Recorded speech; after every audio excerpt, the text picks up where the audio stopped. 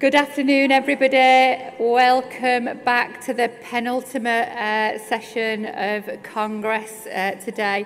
Really important, you know, along our themes of broken things, uh, I think we're all very aware of the housing crisis we've got here in the UK. And we heard that uh, challenge as well from uh, Andy Burnham earlier that he's keen to know what the cooperative options. Uh, I was in, I've had a chance to talk to you about this, Blaze, but I was in Vienna uh, a couple of months ago and uh, they, if you're Viennese you're able to live in the city affordably uh, because it's regulated by 40% housing co-op so we're here to learn understand see what we can take away from today and uh, over the moon to have with us uh, the chief exec of our federal uh, cooperative and community housing Blaise Lambert thank you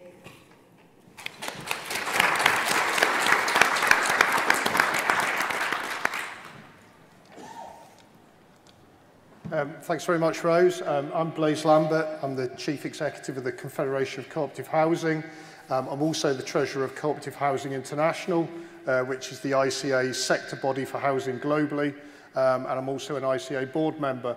Um, what I'm going to talk about very briefly um, is the key asks that we published in our election manifesto a couple of months ago before we knew the date of the election. Um, we've had our ideas formed up for a little while, should we say.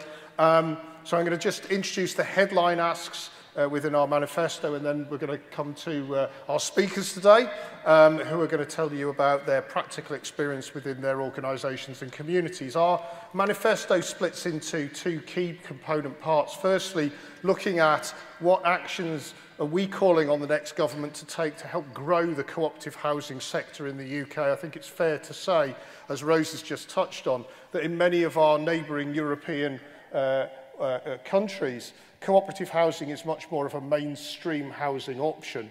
And there are a variety of reasons why that's the case that I won't go into today, otherwise I'd take far too much time. Um, but uh, the, the headline asks relating to cooperative housing, there's three of them here. Firstly, what we don't have in the UK is we don't have a bespoke legal form of tenure for cooperatives. There is no such thing as a cooperative tenancy.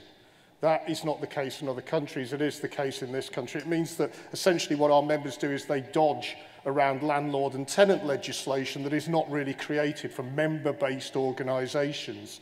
So our first ask, and this actually picks up on something that uh, um, uh, that, uh, that the Labour Party were pushing as a private members bill a number of years ago, which is the need for a Cooperative Housing Act to create a form of tenure. That will place cooperative tenants on the same secure footing as other social housing tenants in this country.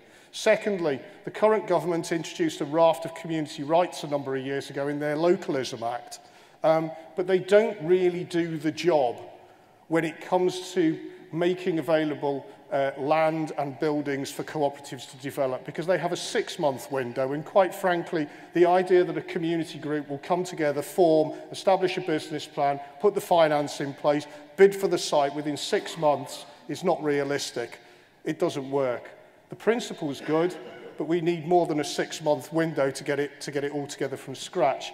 What they have in other countries like Switzerland is a presumption in favour that when public land and buildings are being disposed of, first they are offered to the cooperative and community sector ahead of the private sector. And that sort of presumption in favour would create the opportunity for the cooperative movement not only to develop homes, but to develop other forms of community business on those sites as well. And thirdly, access to finance, not just a housing an issue, an issue right across the cooperative economy, particularly in new start-up um, ends of things. So again, calling on government to invest in a financial intermediary to provide access to low-cost capital finance for cooperative housing organisations that currently are priced out of the market um, by a combination of the risk appetite of lenders and institutional investors and the fact that many of the competitor organisations, be that private house builders or the very largest housing associations, have long established track records of building homes in this country so lenders view them as lower risk. The second part of our manifesto looks more broadly across the social housing piece at en enhancing resident empowerment, spreading the principles of cooperation into the local authority and housing association sectors. Local authority tenants since 1993 have had a legal right to, to, to establish management cooperatives – to take over the management of their, their council estates. There are currently just over 250 of these co-ops in council housing, managing just over 120,000 homes. No such right exists if you're a housing association tenant. And so the first thing that we're calling on is a level playing field is created for housing association tenants to have the same rights to establish management cooperatives as local authority tenants have. Secondly, we've been delivering the government's resident empowerment programme across the entire social housing sector for the last 18 months. We called it 4 million homes. Um, they originally called it the Resident Opportunity and Empowerment Grant Programme. Um, but when I looked at the letters of that, it's spelt R-O-E-G, which, which was a bit close to rogue. and I didn't fancy delivering the Rogue programme. Um, so we rebranded it the 4 million homes programme because there's 4 million social homes in England. Um, and it's been a very successful programme. Um, and we want, uh, we want government to continue to invest in that. It's a programme that provides information to residents about their rights and responsibilities. And thirdly, the current government abolished the, the very infant uh, national tenant voice that was established between 2008 and 2010. We're not necessarily call, calling for a, a resetting up of what was previously set up, but we do think um, there is strong reasons why an independent resident voice for social housing tenants is very important. That will amplify residents' concerns both nationally and locally so that all residents are heard, voices are heard by policymakers and landlords. So there's my details if any of you are particularly interested in contacting me. Um, I'll leave them for a second. Now I'm going to walk back over here um, and introduce our panellists. So, um, first of our panellists today um, is Casey Edwards. Um, Casey is from Compass um, in, in, in Wales. Um, so you are the community-led housing programme manager at Compass um, and you work on the Communities Creating Homes programme. Uh, this is funded by the Welsh Government and the Nationwide Foundation. Can you tell us a little bit about the scheme, about the project, and the other work that Compass is doing in the community and cooperative housing environment? Yep, no problem. Thanks, Blaise. Um, so like Blaise says, I'm Casey. I'm from Compass, which is a uh, cooperative development agency working across Wales. Uh, we were formerly known as the Wales Cooperative Centre, so you might have come across some of my colleagues, I'm sure, at, at a congress uh, in the past. Um, we've been going for over 40 years and our heart is very much uh, in the cooperative and community uh, sector. So we help to set up and to grow cooperative um,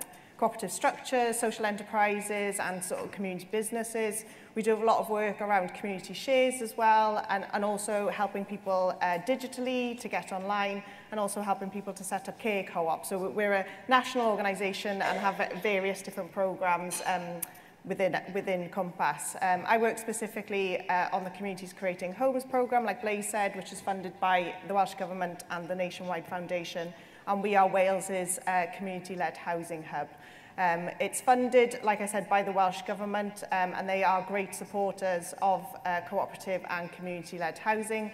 It's written into the programme for government, um, and, and there's cross-political um, party support for cooperative housing. Um, So we, as a programme, we provide advice and support to community groups who want to set up housing co-ops and other forms of community-led housing. Um, and we like to say that we provide support from um, conception of an idea to then completion of the homes. Um, very importantly for us, those homes have to be affordable. Um, obviously, because we're funded by the Welsh Government, any communities that we support have to actually be providing um, affordable housing.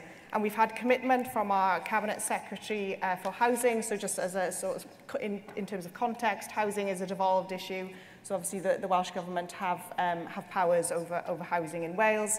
Um, and in terms of that affordability, the Cabinet Secretary has committed to uh, community and cooperative housing being included in their targets to provide uh, 20,000 social homes um, by 2026, which is when our uh, next Welsh election is. Um, and just another piece of uh, sort of context, there's never been any sort of large-scale capital funding for community-led housing in Wales like there has been in England and across the UK. So our communities are having to find uh, very innovative solutions to actually getting these projects off the ground. But that's what we're, we're there for, is to, is to help them along that way. What the Welsh Government have done recently is give um, pre, some pre-development finance for one of our groups, which is We're seen as a bit of a game changer for the sector in Wales and hoping that that will set a precedent for further groups coming forward and that, uh, that funding is for uh, a part self-build project uh, in Swansea, which is in South Wales, um, and they're pr providing 14 affordable homes um, for local people. So we're really hoping that that can stimulate the sector in Wales. And just to give an idea of, of the, the scale of the sector, we're supporting around 38 groups across Wales um, to develop a pipeline of 276 affordable homes Um, and obviously that probably sounds like a drop in the ocean to uh, some, of the, some of the numbers that we have in terms of cooperative and community-led housing um, across England. But for us, obviously, it's a sort of a growing movement, and I do think that once a couple of these schemes get off the ground and built, then we'll see an influx of, of more of these projects coming forward. So that's a little bit about Compass and what we do. Um, thank you, Casey. So, uh, if I can ask the question, um, so what do you, what do you see the benefits that, that that are coming through the Communities Creating Homes program, both for the tenants themselves, but also the broader community? Yeah, no problem. I think obviously affordability. We have a big focus on affordability, so be, be, being able to provide affordable housing is obviously a massive tick in terms of uh, being a benefit. But I think for us, what we're realising is some of, some of those wider um, softer benefits uh, that you might say. So we did some research um, back before the pandemic now in terms of some of the some of the softer benefits that people were experiencing from living in cooperative and community-led housing. Um, and what we found was people were less isolated, they were less lonely, uh, they had more confidence to, to maybe go out and speak to their neighbours, even more confidence to go out and find, find work potentially or volunteering. Um, and also, obviously, they, they're learning new skills as well as they're developing the, these enterprises. So there's definitely wider benefits than just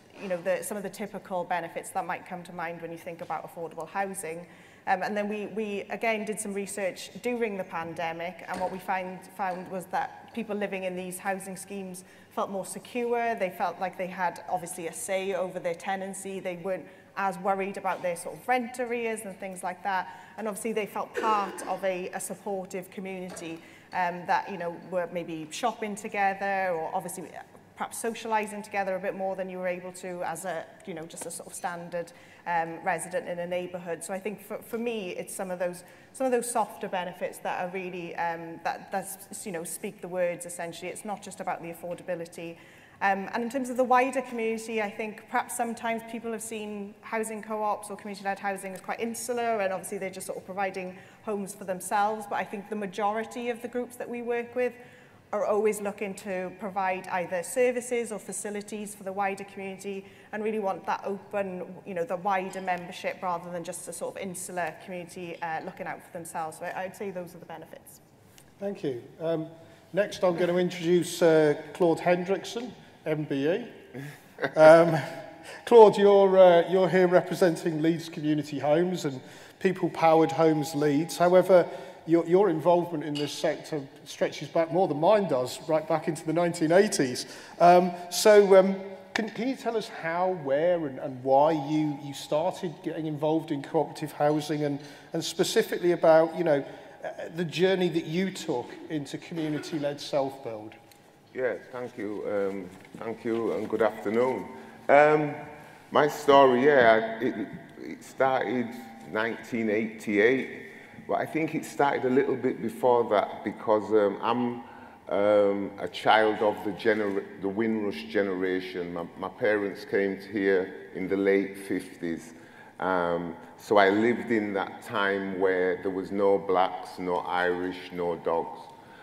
and housing was a fundamental. Um, and we watched our parents going from slum landlord to slum landlord as we was coming through as young children.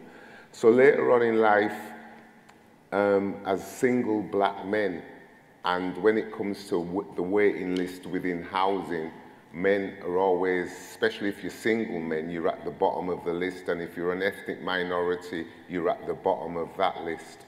So what we decided as a group was to take on solving our housing issue whilst getting skills, as you mentioned, soft skills like employment and training. So we set about setting up Frontline Self Build, which was a group of 12 unemployed young black men, and we built our own houses. Um, we laid 92,000 blocks, 52,000 bricks, um, 8,000 roof tiles, built 12 semi-detached houses, um, which went on in building them um, to set me up to go out and lobby. So for the last 30 years, I've been lobbying for community-led housing to why I last year received the MBE for my work around community-led housing. Um,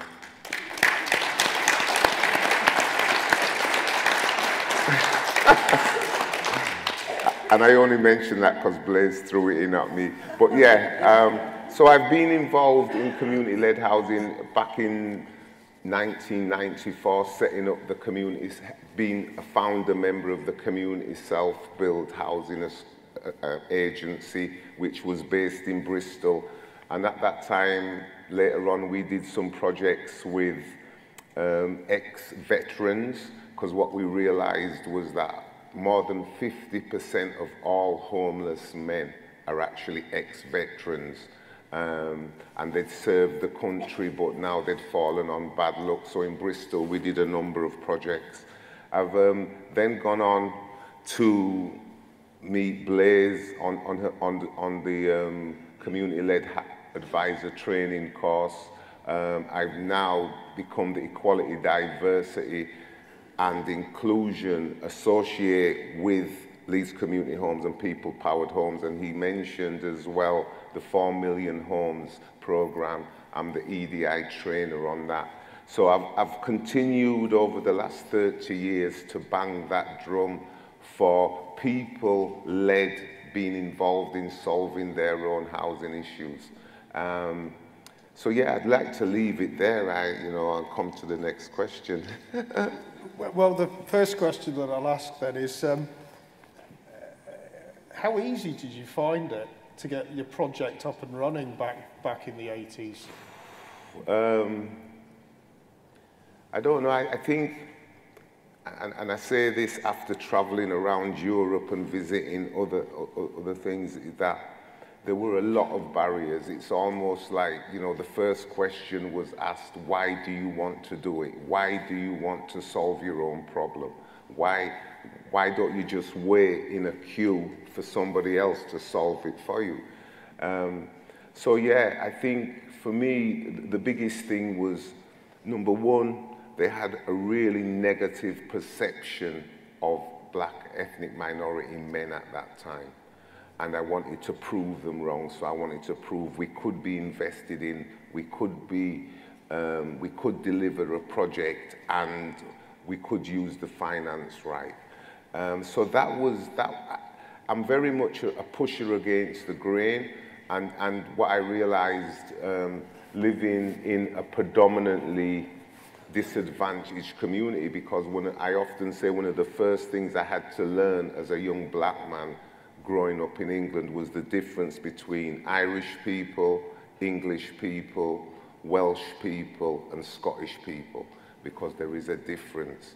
And, you know, and, and, and meeting Blaze again, I keep coming back to this because I've, I've had very strong relationships with Irish people because they have seemed to have suffered a lot of the issues that we had to deal with. And, and I think, you know, picking up on what you just said there, and it's certainly in housing in the UK mm. and, and, and, and for cooperative housing, this is a real challenge in the UK mm. is there is this perception in the UK that if you can afford, if you can afford to buy, you buy. Yeah, yeah. Otherwise, somebody else is going to provide you with a home. Yeah, yeah, yeah. Either that's a private landlord or a social landlord, but ultimately somebody else is going to do it for you.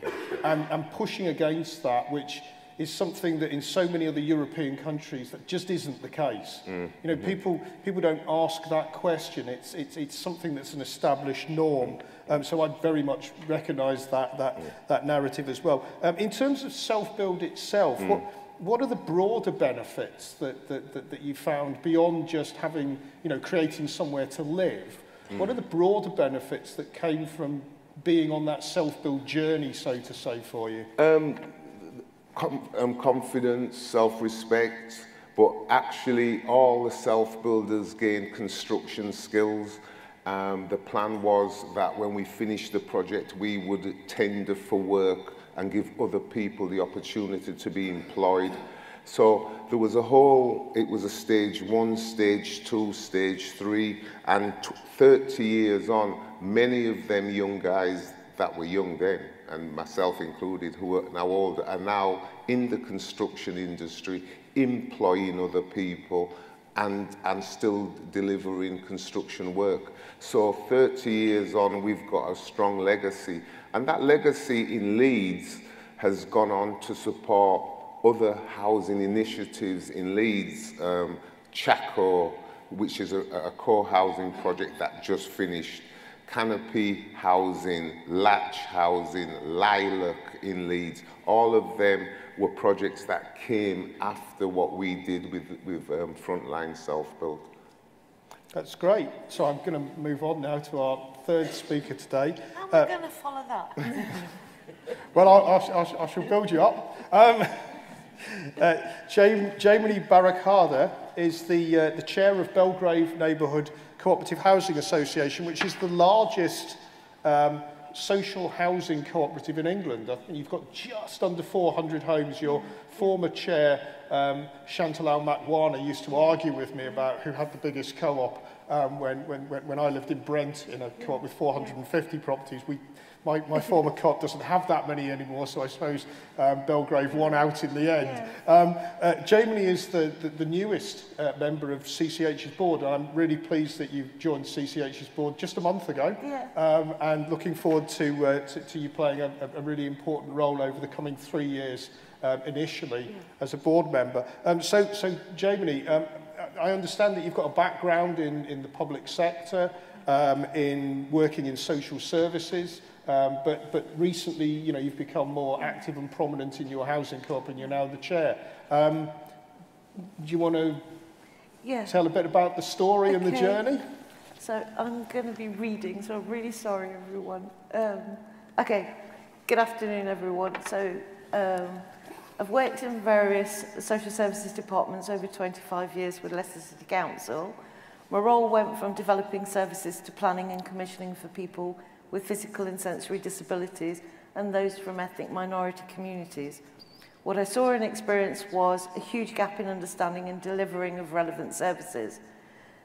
There was little understanding of issues or barriers that people face with disabilities and lack of, I have to say, pretty bad lack of understanding and sensitivity towards people's needs with ethnic minorities. Um, there was a real learning curve for the local authorities as to how little they actually understood about the people they were supposedly serving. And it's really not until a lot of these issues were highlighted, whether that was done through community consultation, whether that was actually done through places of worship you went to or you know local centres that were running and actually talking to people and finding out about the services that were lacking was when a lot of those issues started to be highlighted.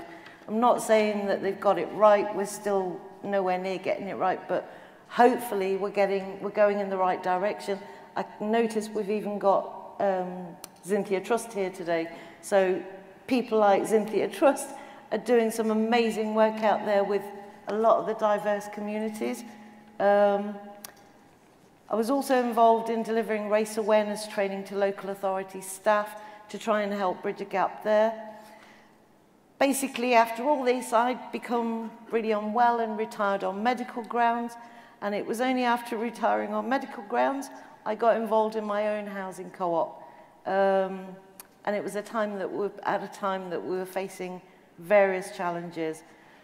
I very soon found out that BNCHA was being mismanaged with poor governance, neglect to carry out essential repairs, lack of communication, integrity, tenant members, completely no transparency or accountability, we're at a point where we actually nearly lost the co-op.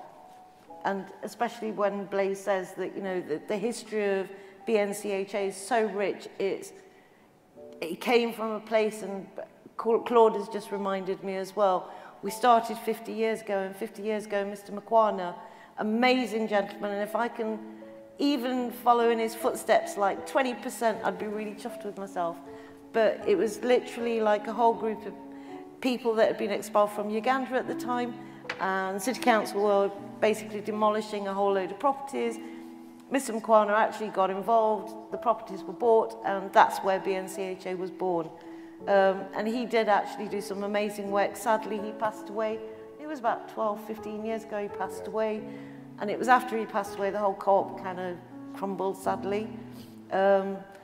so anyway, I kind of got talked into joining the committee at the time. Didn't know anything about housing co-ops, didn't know anything about being on a committee. So it wasn't, it wasn't long after that I actually got taken on as the role of the chair. So that was pretty crazy, yeah? So I was literally just kind of thrown in running. But one of the first things I suppose I, I thought about when we came in was like, okay, why are we not talking to our tenant members?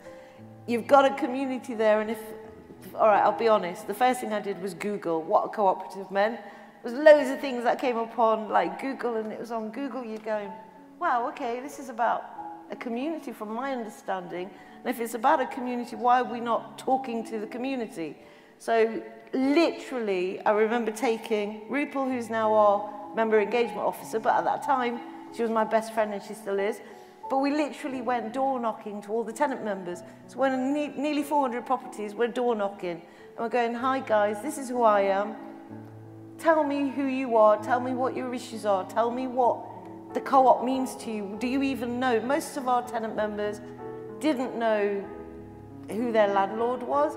And that's something three years on, we're still working on. So as far as their landlord was concerned, it was the service provider.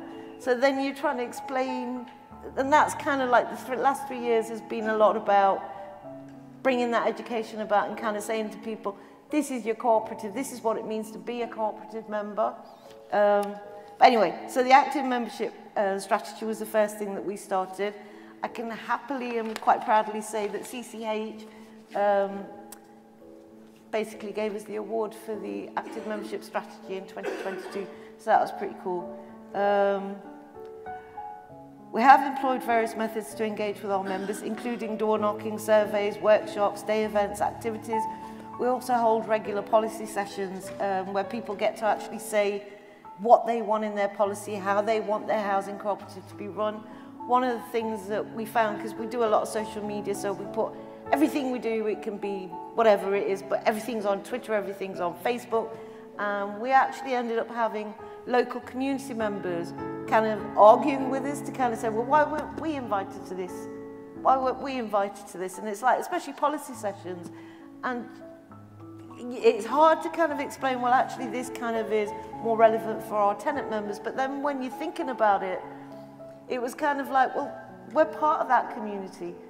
So should we maybe not be involving community members in as well? And they don't necessarily have to be tenant members.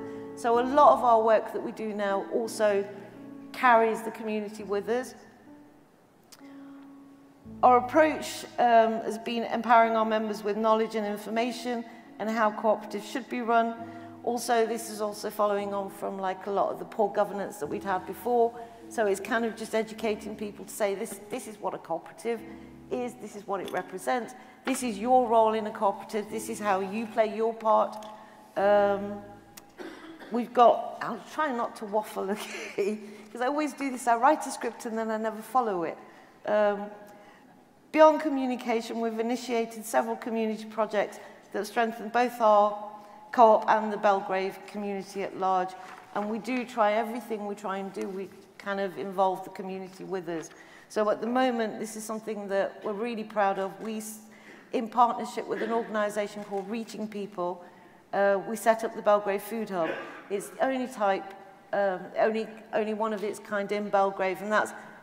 quite a large, large area of the city, which is also quite financially challenged.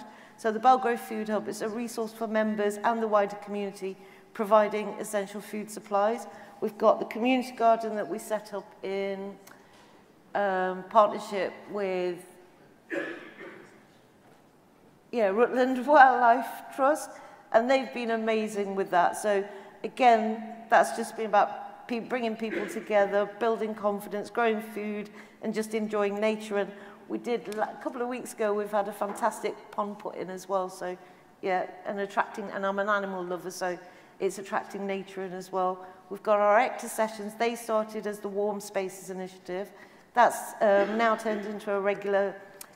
meet and greet group. And ECTA basically means oneness, it means unity. So it's just about bringing the community together. And I'll, I'll mention that a bit further on as well, because we had, um, most people probably remember we had the Leicester disorders last year, um, and it was really sad. So we had quite a few of our tenants kind of approach us saying,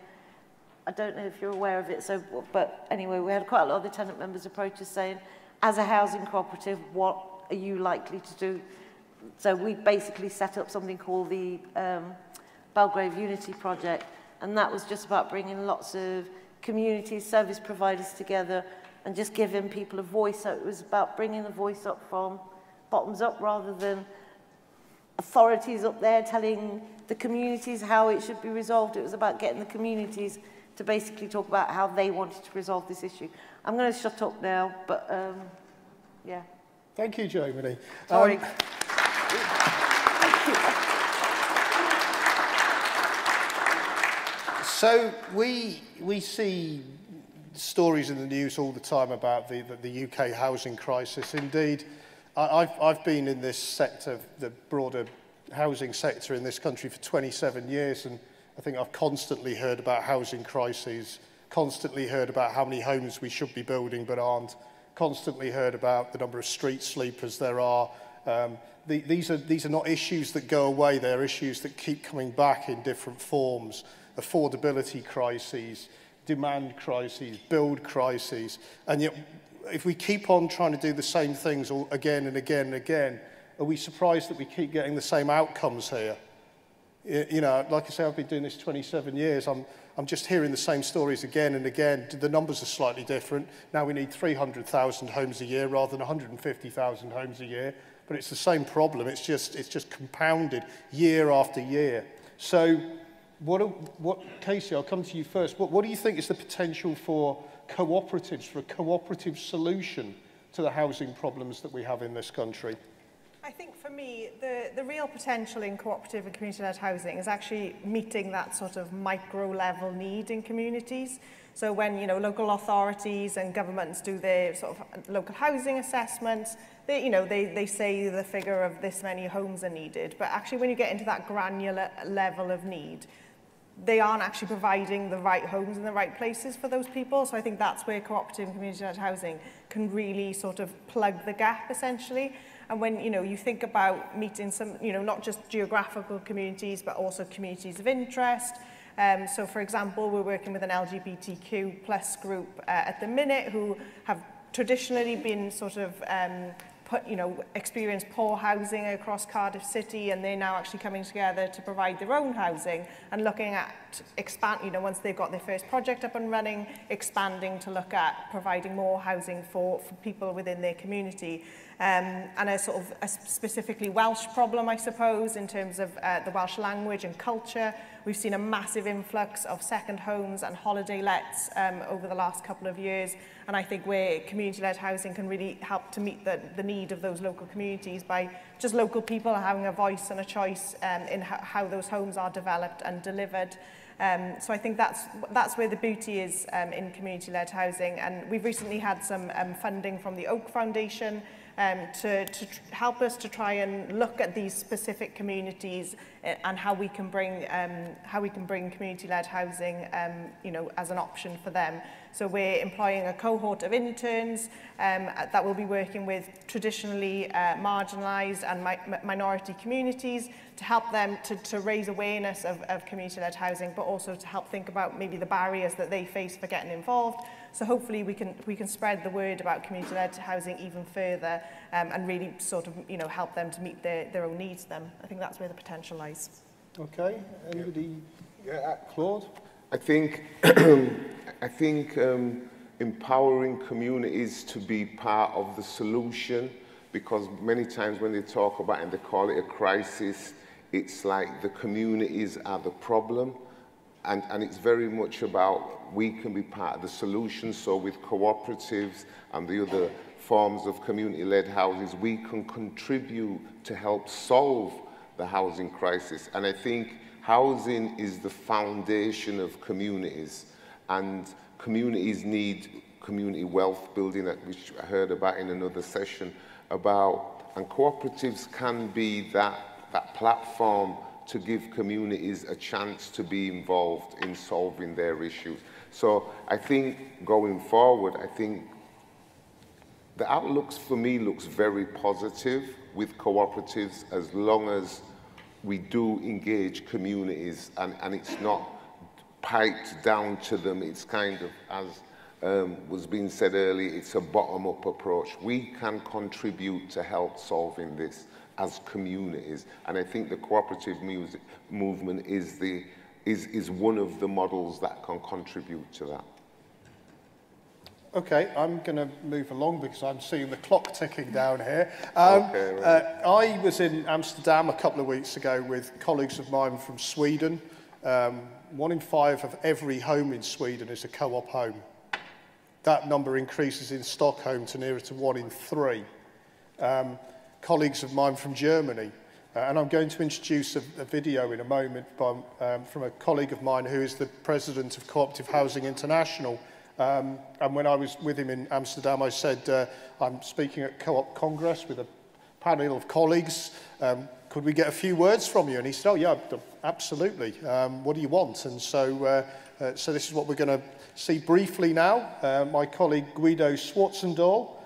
um, he's, as I say, from the German cooperative housing sector. Um, he's from Bavarian, Halle and Lerner, uh, one of Germany's largest housing cooperatives with 7,500 homes uh, across four cities in Germany. So, um, so let's play the video. A member of the Cooperative Housing International Executive Board, Blaise Lambert, also asked me to give a brief description of the situation for German housing cooperatives. Look back from the past to the here and now. As you know, housing cooperatives in Germany are a large sector and a reliable pillar of social housing provision. More than 2,000 cooperatives, quite a big number, with more than 2 million flats are really a proud number today. These cooperatives are well established and enjoy a high level of social recognition. However, as providers of rental housing, they are also in competition with municipal and privately financed providers of social housing. This is unproblematic in tight housing markets, as for example in Berlin or Hamburg, but not always easy in relaxed housing markets as for example my hometown here Halle in the former Eastern Germany. This is because the advantages of memberships are noticeable in tight markets but more neglected in relaxed markets. And like all housing providers, the cooperative associations are fighting for land, financing and subsidies in an increasingly competitive environment. As construction costs are rising, interest rates are rising, and our customers' ability to pay rent is shrinking rather than growing due to the noticeable inflation. Added to this are stricter building standards, decarbonization as a result of climate change and the second wave of refurbishments to existing properties. New cooperatives cannot be founded in any significant number as a result, but they would be important as a reliable pillar in the ever shrinking supply of affordable and high quality housing in our time. In view of this experience, it is more important to continue to promote the housing cooperative model everywhere at all times and with vigor. We are an important part of the solution to close the gap between demand and supply. The service of our members sustainable, and future orientated. May I wish you a successful event. My best wishes from Germany and here's to good cooperation and cooperatives worldwide. Goodbye.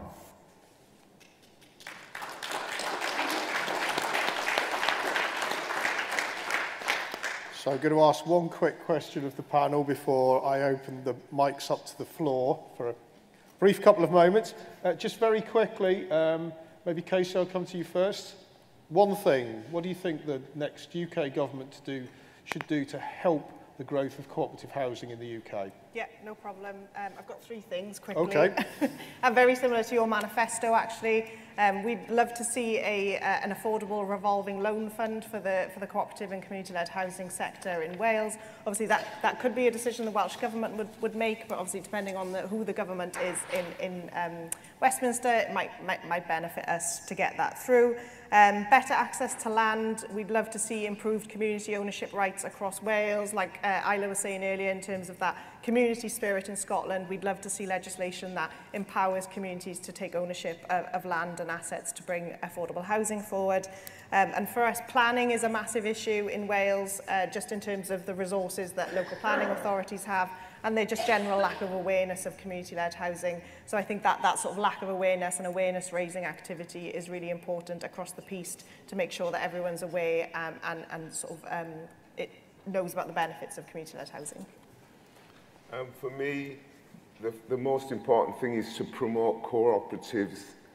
generically and co cooperatives should not just be promoted to people in disadvantage. We should probably be promoting cooperatives right across the board. So no matter what finance you've got, no matter where you live, cooperative living should be promoted or cooperative should be promoted. So I'm hoping that with this government, they're going to promote the whole energy of cooperatives right across the board. It's not just about people living in disadvantaged communities. It's uh, right across the board. So that would be my thing. More money. well, thank you very much. And I'm, I'm just picking up on what you were saying, Claude. I mean, you know, I, I, I often use the expression, you know, cooperation's for everyone. Mm, yeah. And the thing for me that's held us back in housing in this, this country mm. is that we've seen cooperative housing as only being for a very, very narrow part of the population. Mm. And it tends to be the people on the lowest incomes. Yeah you know, we don't see this in the way that they do in other yeah, countries. In, in, Europe. In Europe, in North America. Cooperation is an option for everyone in their housing and their community, not just the sort of fallback position when everything else has failed. Mm. Oh, let's try cooperation in that area, see if that will work. Um, right, um, I'm going to open up the, the, the, the opportunity for two quick questions because I'm mindful of the time and I have two hands up, which is great. So I'm going to come to yourself first. There's mics coming round. Mm -hmm. Is this on?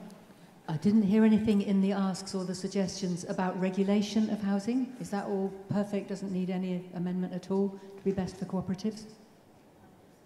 Okay. Um, anybody want to say anything about regulation? Whoa. regulation. I think um, the regulation, I mean, there's a lot of, of that being spoke about within the um, CCH. Um, and the other, the other strands of community-led housing and community land trust. Um, so it's been discussed, um, and I think under the 4 million homes, there was a recent announcement about regulations. Um, and how did that go? Well, I think, I think I'd say that the current government has just passed a very extensive piece of regulation yeah. in the social housing sector in this country, the, the 2023 Social Housing Regulation Act. There is more regulation coming down the line, AWAB's law, Decent Home Standard 2, the Competence and Conduct Standards. I'm not entirely sure that what our sector requires is more regulation, I think there's maybe a case to talk about regulation in the private rental sector and other parts of the housing market more generally. But I think what we need at the moment is, is, is, is more fundamental legislative change and access to land and access to affordable finance. I think the, the, the regulatory framework that's in place is, is, is has had a lot of work done on it in the last couple of years, although it did take a while for that to happen post-Grenfell. Um, I'm going to come to the gentleman with the purple jumper on. Hello. Hello. Um, Phil Hartwell. I was, I was just wondering, what does the right to buy legislation, what effect does that have on the cooperative market? Okay, well, um, shall I quickly take this and then come to yourself, Casey, yeah, maybe? That's um, fully mutual housing cooperatives have an exemption from the right to buy under the 1985 Housing Act. Um, so whilst local authority tenants have a statutory right to buy, and whilst most housing association tenants whose tenants predate the 1988 Housing Act have a right to acquire, there is a specific exemption from right to buy for cooperative housing organisations. So, you know, it, actually it's something that in, in certain discussions um, some local authorities view as a, as a positive issue in terms of supporting cooperative housing is, is that exemption from, from right to buy. Um, Casey, maybe say something about the Welsh situation? Yeah, no problem. Um, so the Welsh Government suspended the right to buy uh, a number of years ago, so it's, it's not really an issue um, for us anymore, which is obviously great. Um, and in, in terms of the regulation question as well, um, we've done a lot of work in Wales around the regulation of, of private landlords recently and brought in a, a new Renting Homes Wales Act in terms of the, the standards that private landlords are actually um, expected to meet. So I'd agree with Blaise on that, that you know that sort of regulation of private landlords is, is the priority.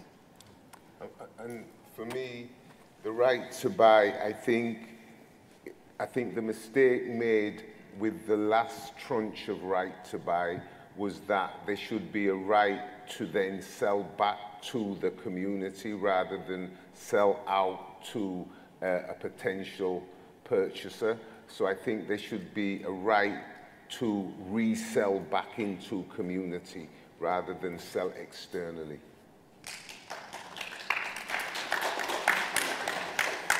I'll be taking that one.